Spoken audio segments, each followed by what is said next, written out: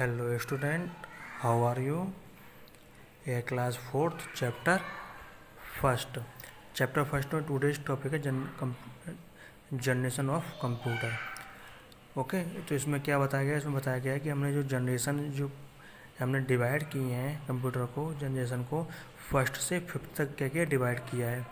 उसमें हमने कौन कौन से चेंजेस किए हैं, कौन से चेंज्ड हुए हैं और उसमें हमने कौन कौन सी हेल्प के द्वारा डेवलप किया है? जैसे कि पहले स्मॉलर है पावरफुल है इफ़ेक्टिव है रिलायबल है डिवाइस तो ये सब क्या है? ये हमने हर हर जनरेशन में क्या हुआ? कुछ ना कुछ उसमें चेंज के साथ इसमें हमें कुछ ना कुछ मतलब नई चीज़ें इसमें ऐड की गई हैं। जिससे कि कंप्यूटर क्या हो? कुछ ज़्यादा रिलायबल हो जाए। मशीन क्या हो हमारी? कुछ रिलायबल अच्छी से मतलब भरोसेमंद हो जाए। हमारा फ़र्स्ट जनरेशन है 1946 से 1959 में।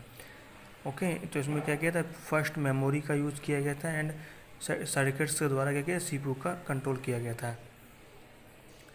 इसमें हमने क्या किया था? जनरेशन में punch card punch paper tape, magnetic tape, input and output device, इन सब का क्या किया था? यूज़ किया गया था। मशीनी कोड का, इलेक्ट्रॉनिक वायर का। इन सब का यूज़ किया गया था। इसके जो फीचर्स है, इसमें क्या क्या हमें मिला था, इसमें हमने क्या किया था, सबसे पहले वैक्यूम ट्यूब का और मैग्नेटिक ड्रम का यूज़ किया था, जिससे क्या कर सकता अपनी स्टोरेज को स्टोर कर सकते थे। और इसको क्या नाम दिया गया था, इसमें बाइनरी कोड का प्रोग्राम कार्ड मशीनी लैंग्वेज इसमें मशीनी लैंग्वेज का यूज़ किया गया था, इसमें बाइनरी कोड को भी प्रोग्राम किया गया था। ये हमारे क्या हैं, ये कुछ कंप्यूटर्स हैं, जो इस टाइम पे जनरेट किए गए थे। जैसे कि Mark one Mark two UNIVAC और वरोज ये सब क्या हैं? ये हमारे कंप्यूटर हैं फ़र्स्ट जनरेशन के। हमारी सेकंड जनरेशन स्टार्ट हुई थी 1959 से 1965 तक। ओके तो इसमें क्या किया था? इसमें हमने वैक्यूम ट्यूब को हटाकर उसकी जगह ट्रांजिस्टर का यूज़ किया गया था। तो वैक्यूम ट्यूब क्या था? वैक्यूम ट्यूब थोड़े बड़े साइज़ में तो क्या होता? थोड़े बड़े होते थे, थोड़े महँगे आते थे।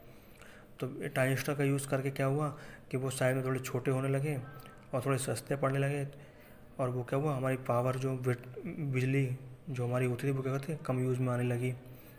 तो इसलिए इसमें क्या किया है सेकेंड जनरेशन में हमने ट्रांजिस्टर का यूज़ किया गया।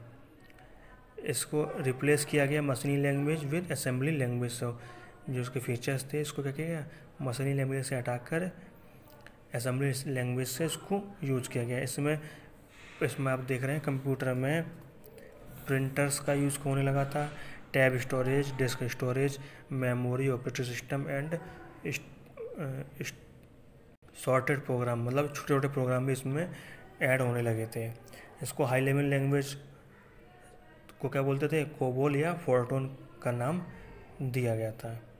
इसमें I B M one thousand sixteen twenty I V M seventeen ninety four C D C sixteen zero four और C D C three thousand six hundred UNIVAC eleven zero eight ये सब क्या है? इसके generation है।